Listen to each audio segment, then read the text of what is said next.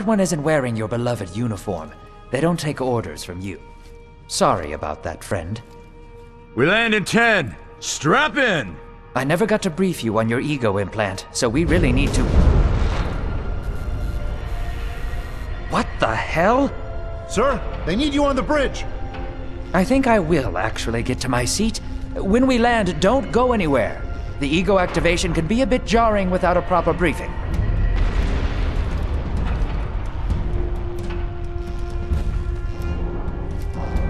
Relax. It's just a little turbulence. Completely normal. No, it's not. We're all gonna die. She's actually quite charming once you get to know her.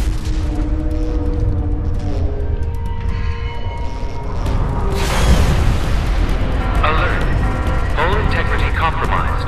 Initiating Hold on. sequence. We're Alert. going down. Hull integrity compromised. Evacuation pod launch in three, two,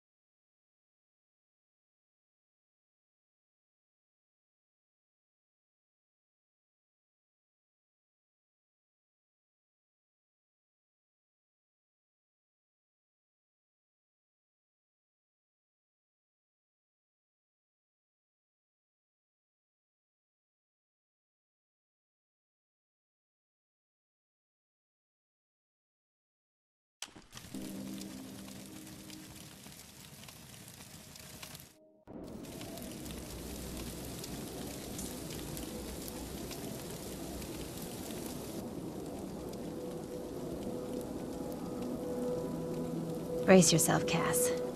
This could be real bad. Okay.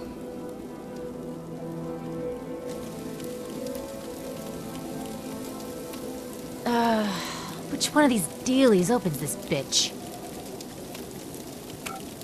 Ah, nice. Holy Stocko! You're alive!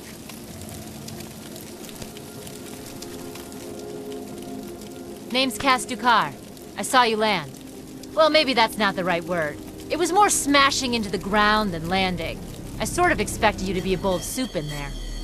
Um, what are you doing? Doing, doing, Whoa, are you okay? Do you need help? Help? Help? Can you hear me? You need to sit down. Here, sit down before you pass out.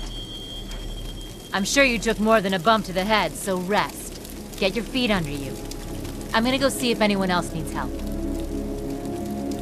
Oh, you might want to arm yourself a bit more. The locals aren't known for their charm.